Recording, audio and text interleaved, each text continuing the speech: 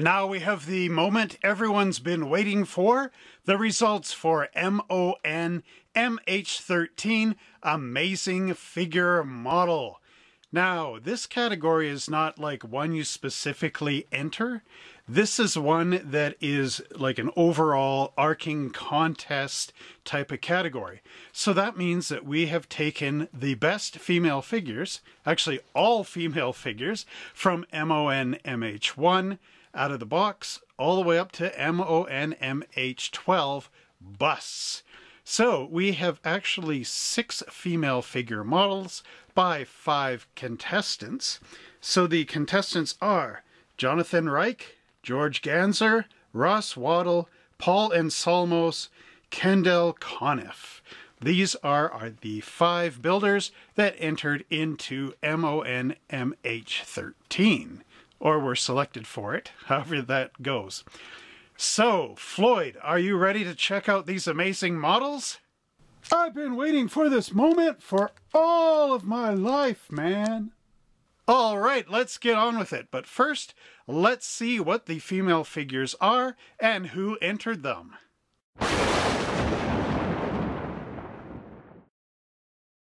Jonathan's first model kit is entered in MONMH1 out of the box. This is Little Red Riding Hood and her nemesis, the Wolf, as you haven't seen them before. I believe I purchased this kit from Fantasy Realms, but I'm not sure. This is an awesome take on the old story.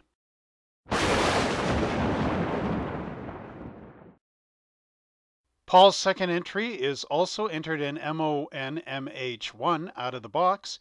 This is Vicky in 1 6 scale by Tweederhead a resin box art tribute kit to the Aurora Monster Scene's The Victim. Basic flesh tones airbrushed in acrylics, makeup and sun effects with pans, pastels. The rest hand brushed in acrylics.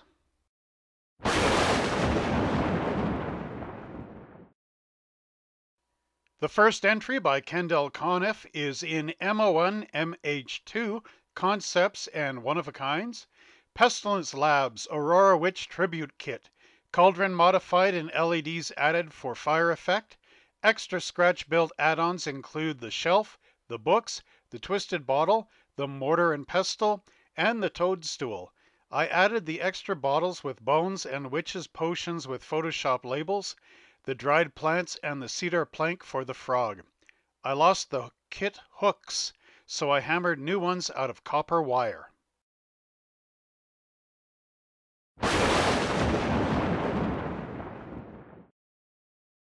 Ross's next entry is of the Moebius Wonder Woman built to enter into the category MON MH11 Heroes and Superheroes.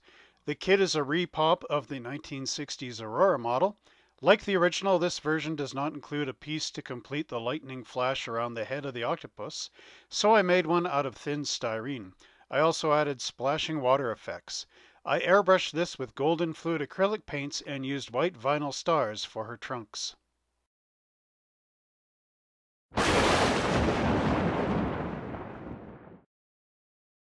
George's first entry is Lucy for MON MH12.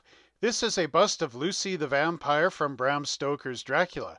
The bust is one quarter scale and was digitally sculpted by Daniel Danco Angelosi and produced by Saul Alvarez at Silver Screen Icons. I used a combination of acrylics, metallics, and enamels to bring her to life.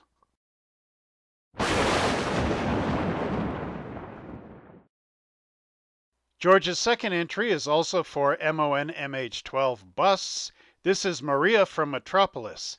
This is a one half scale bust diorama of the Maria robot and false Maria figure from Metropolis and was digitally sculpted by Danielle Danco Angelosi and produced by George Stevenson at Black Heart Models. The base, backdrop, and reaching hands were all scratch built. I used Vallejo metal, er, metal color acrylics for all the metallic surfaces.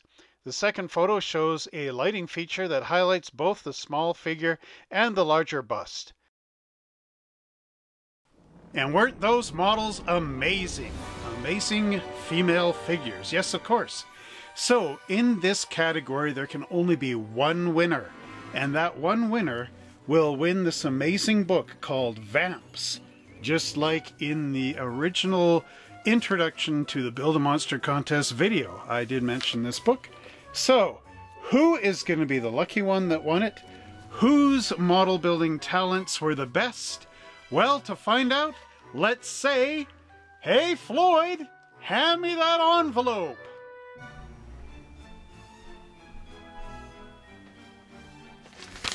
And here we are with the envelope with the final winners. Now, since only one person can win this book, there is only actually one winner. So there isn't really the gold, silver, and bronze. However, I still kind of wrote it out that way. So we will read it that way, but just know that only the gold will win. So we're going to go in reverse this time. There are three honorable mentions and three, well, contestants that would have been bronze, silver, and gold. So we're going to do this in reverse. So, honorable mention. First one is Wonder Woman by Ross Wendell. Blah, second honorable mention is Maria by George Ganzer. Blah, blah, blah, the third honorable mention is Little Red Riding Hood by Jonathan Reich.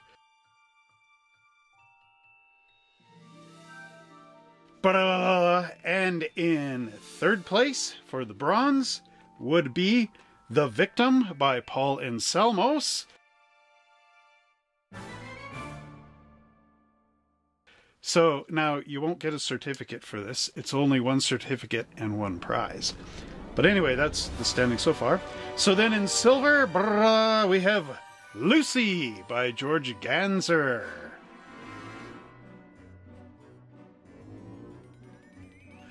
And in our final first place for the big gold, we have The Witch by Kendall Conniff.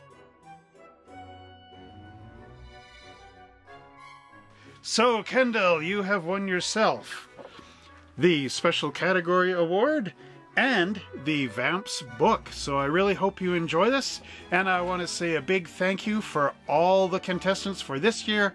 Next year, I know we can make it better. There will be a new theme announced later on in 2023, maybe around April, maybe March or something. I don't know.